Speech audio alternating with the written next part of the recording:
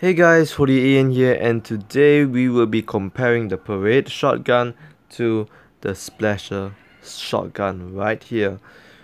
And yeah, to be honest, um, both weapons are a little bit overpowered compared to um, DBSG and all that. But anyways, let's get right into the comparison. Number one is the damage. Um, actually, I compared both of the weapons and the parade shotgun is actually one shot kill in short range. Look at that. Look at how I kill Mike Hunter. One shot. While the uh, Splasher shotgun actually needs a minimum two shots to kill someone. So the parade shotgun wins this round. Next, we will be looking at the range. The range for the parade shotgun is not very good. And you can see, look, yeah. But anyways, um, for the Splasher shotgun, it actually has a little bit longer range than the parade shotgun. I can't really kill them, look at how much damage I'm dealing to them at such far range. It is pretty damn less.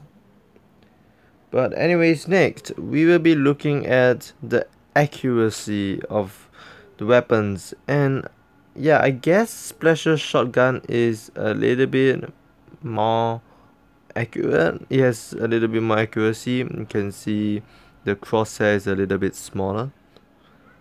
So the Splasher Shotgun wins this round. And next, it is going to be the clip size. For the clip size, the Splasher shotgun has 20 bullets in one clip, while the parade shotgun has 15. So the Splasher shotgun wins this round. Next, we will be looking at the rate of fire. You can tell that um, the Splasher shotgun has actually a, a faster, a little bit faster uh, rate of fire than the Parade shotgun. So the Splasher shotgun wins this round.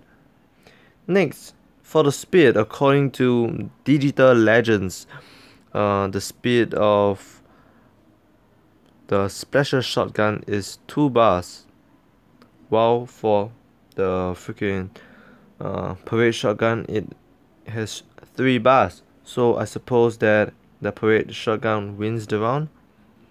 I'm not too sure though. But anyways, last but not least, it is going to be the reload speed.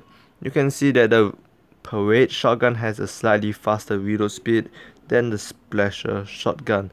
So anyways, I think um, the Splasher shotgun may win a bit. I'm not so sure. Both uh, draw. But anyways, what are your opinions? Leave your comments down below and participate in my poll as well. But anyways, see you all next time.